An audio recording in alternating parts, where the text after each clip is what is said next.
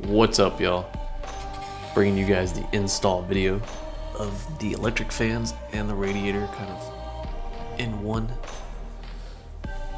So right here I'm using 90 degree angle brackets that I kind of just hack down to fit side to side on the radiator.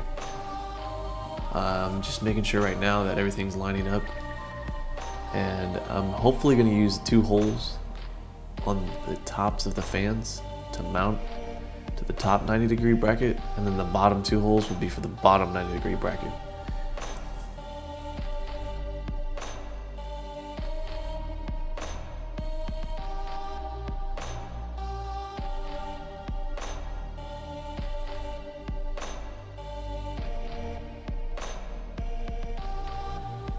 So yeah, I cut this one a little too long. See if we can just take off just a touch more and it should be perfect.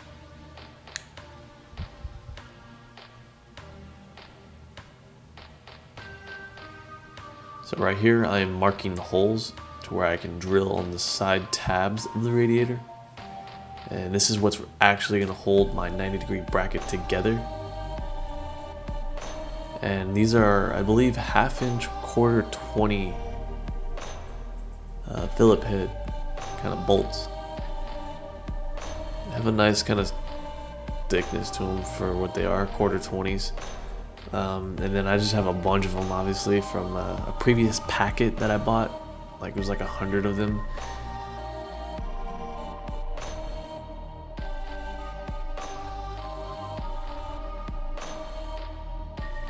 I got nylon lock nuts as well, which I'll be using a lot of. And now I'm just drilling through the radiator.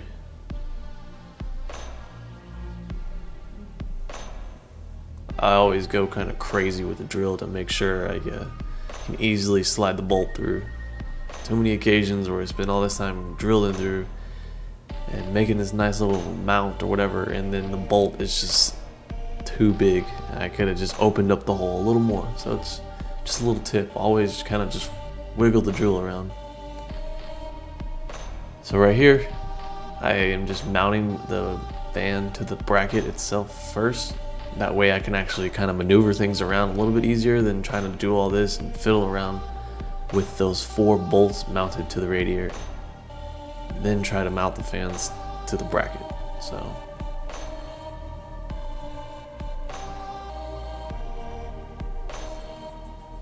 I believe a 12 mil fits. I think that's what I used.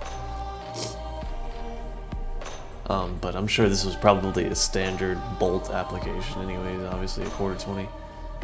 Um, but my natural reaction is just to go straight for the metric anyways. It's probably just a, a Nissan thing that I have mentality wise.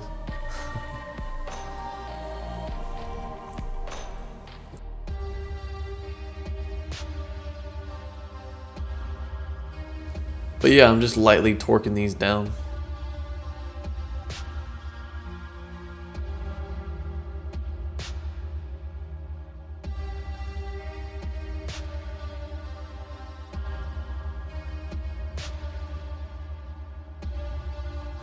It's snug, let's just say that. I don't think this will vibrate loose.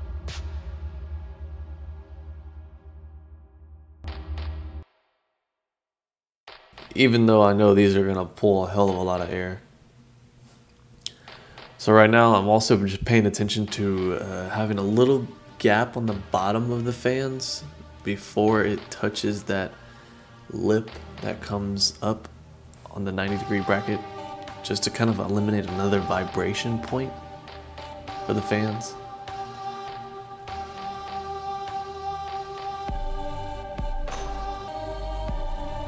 And as you can see, the holes line up nice.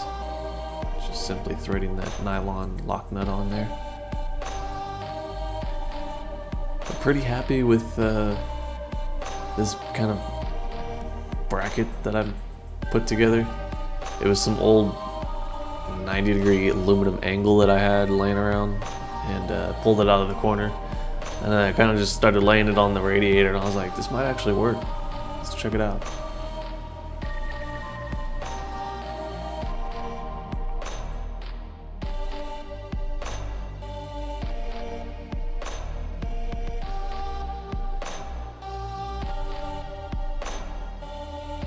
If you want to use like traditional hex bolts, that's perfectly fine.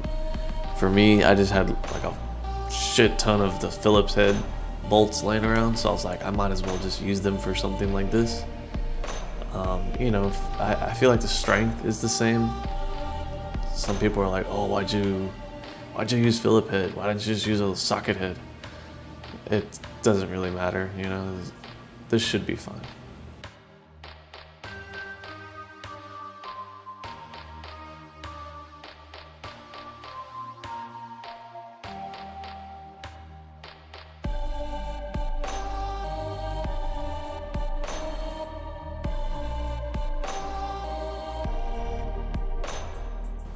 So I'm not sure if you can tell, but I left a little gap actually from the top of those uh, fans to that 90 degree bracket again.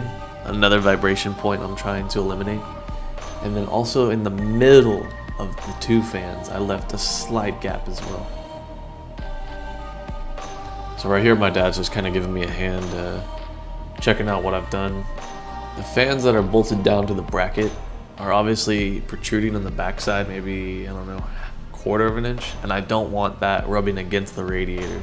So I kind of came up with this idea of a spacer using a nylon lock nut and then driving the inch and a half long quarter 20 that I went to Home Depot for. As you can see, I'm putting another nylon lock nut on the backside to make sure it doesn't vibrate loose. And uh, it's kind of the finished product pretty happy. But uh, ultimate test here, let's see if it drops in. It's a little tight, but you know, you just gotta move a few things around. And so I'm underneath the car here, kind of getting an idea of where I want to mount the bottom part. I uh, drilling through these steel support. This is a uh, metal kind of square tubing that I found also in the garage. Those black lines simulate the, uh, the mounts that I was just drilling in a certain angle and I'm using a big ass bolt to slide through there. So I'm not sure if you could tell this is the underside of the car the bolt through there I put blue thread locker and then tightened it down and this is how the radiator sits. I'm pretty sure the hood will close properly, no dents. So tonight, tomorrow, I'll probably be wiring up the rest. Thanks for watching, guys. Let me know if you have any questions. I'd be more than happy to help you out. And uh, hit thumbs up. Give me a little subscribe option as well. If y'all would appreciate that. Thank you.